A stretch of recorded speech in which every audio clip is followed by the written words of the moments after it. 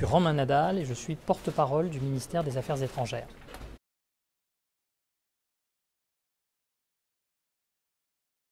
Alors CFI, opérateur de médias,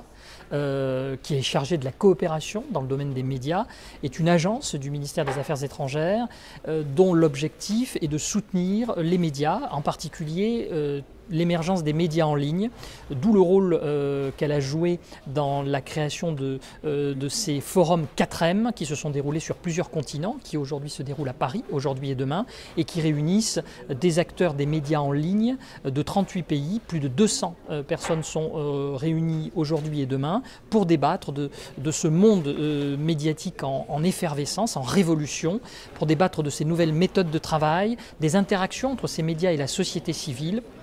et défendre une liberté fondamentale qui est la liberté d'informer. Sans liberté d'informer, il n'y a pas de démocratie. Et cette liberté d'informer, elle peut être menacée aussi par la révolution numérique, parce qu'elle bouleverse euh, l'économie des médias, leur modèle économique, euh, et d'une certaine façon, elle les a affaiblis aussi, puisque euh, un certain nombre de médias voient aujourd'hui leurs ressources réduites et les journalistes ont moins de moyens pour travailler. par ailleurs, ils sont aussi concurrencés par des citoyens qui produisent de l'information, mais là aussi, il faut trouver des règles à définir euh, pour que euh, euh, la liberté de l'information soit préservée et qu'on ne confonde pas information et propagande ou manipulation ça fait partie des sujets qui sont abordés au cours de ces deux jours et qui sont véritablement passionnants. Et pour moi, porte-parole du ministère des Affaires étrangères et mon équipe qui est présente, en particulier toute l'équipe qui développe la diplomatie numérique, ce qu'on appelle notre pôle web au sein du ministère, est présente pour assister à ces débats, pour y participer. Parce que pour nous aussi, même si nous sommes une institution, pas un média, ce débat, ces discussions, cette révolution numérique, euh, elle nous interpelle, elle renouvelle nos méthodes de travail, à la fois internes et puis notre communication en direction du grand public et des médias.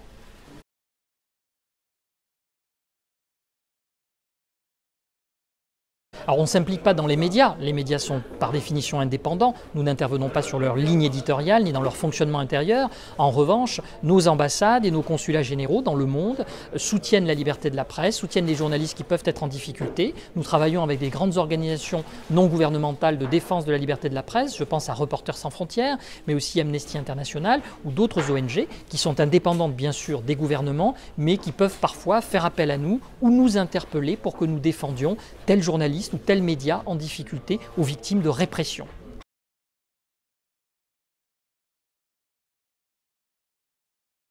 Bien sûr, la révolution numérique transforme la société. On parle d'ubérisation de la société. Elle transforme les méthodes de travail des médias. Elle, elle, transforme totalement la diplomatie, qui auparavant était un monde assez secret, assez confidentiel, avec une communication très verticale. Désormais, euh, nous sommes dans une communication beaucoup plus horizontale, en interaction avec la société civile. Nous avons de nouveaux espaces de communication que nous sommes en train de conquérir.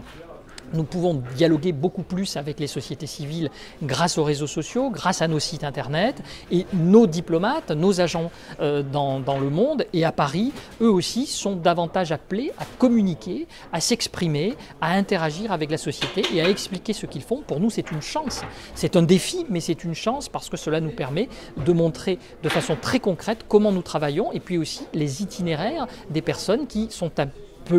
à contribuer à notre diplomatie. C'est aussi euh, la découverte de parcours, de personnalités, de nos ambassadrices, de nos ambassadeurs euh, et des agents euh, qui font vivre le Quai d'Orsay et qui participent à l'élaboration de la politique étrangère, puisque les rédacteurs du ministère les sous-directeurs, les directeurs, les ambassadeurs, à tout niveau, nous communiquons, c'est-à-dire nous expliquons et nous allons à la rencontre des Français